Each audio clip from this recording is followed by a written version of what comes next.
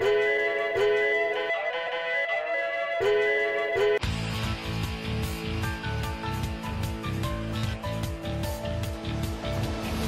hoy tenemos un nuevo vídeo para todos esos que no se deciden a ver alguna serie nueva, por miedo a que sea mala. Hoy acabo de verme Charlo, y daré mi opinión sobre ella. Antes de comenzar, debo recalcar que esta es solo mi opinión, no es la verdad absoluta. Si no estás de acuerdo conmigo, deja tu opinión en la caja de comentarios. Dicho esto, comencemos. Empezará siendo un breve resumen. La historia de Jarlock se nos presenta en sus inicios como una historia más bien cómica, donde todos los protagonistas tienen unos poderes de lo más defectuosos, que se originan en la pubertad. Y el objetivo de la serie es el reclutamiento de estos alumnos con el fin de que no sean capturados e investigados. Más o menos explicada la trama, pasamos a la parte más técnica. Charlock cuenta con una temporada de 14 capítulos, de 22 minutos aproximadamente, y su respectivo manga.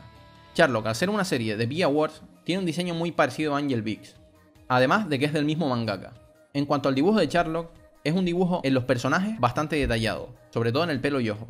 Pero lo que realmente destaca es en los paisajes, que rebosan colores y son bastante realistas.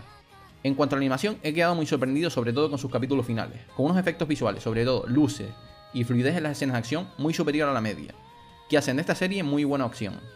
Hablado todo más o menos objetivamente, paso a dar mi opinión. ¿Qué me ha parecido Jarlock?